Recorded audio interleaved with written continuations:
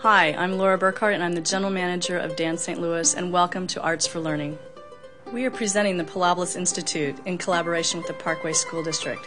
This program includes lecture demonstrations, in school workshops, and working with the children on choreographic projects that will be performed on a main stage setting in collaboration with the Pilobolus Too performances. For more information about this exciting program, please explore the website.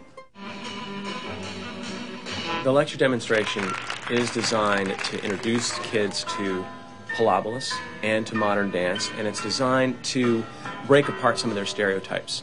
Um, we want to show them that it's very physical, it's funny, and it's theatrical.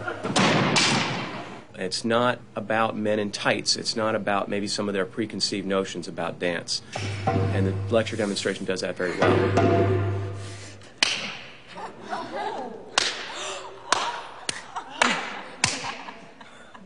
Ready?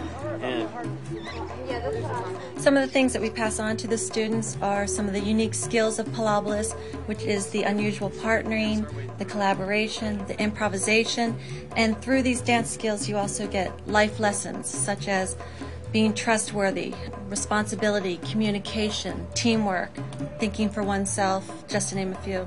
We had a thing we were bouncing. I remember she said she wanted us. So we could come like this. You know what I mean? Like, the value and the opportunities that the kids end up being able to have as a result of working with professionals is just it's it's wonderful it's beyond compare and it will be a lifetime uh, experience that they will never forget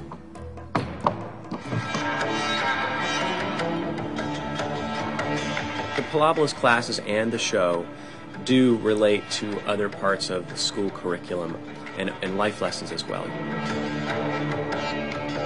Lean back more, more. There you go. And from here, we're going to come back up by leaning away from the center.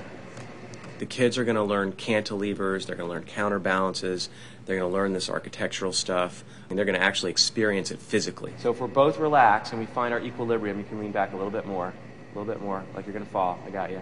There. Can you feel that? Now we're solid. That's our equilibrium. And you can see it on a piece of paper, on a picture, and you still don't understand it the way you do when you actually live it. When you lean up against someone else and you're off your own balance, but you're supported. You can imagine how a piece of architecture could support itself that way. Two, one, okay, come down. Give him a hand.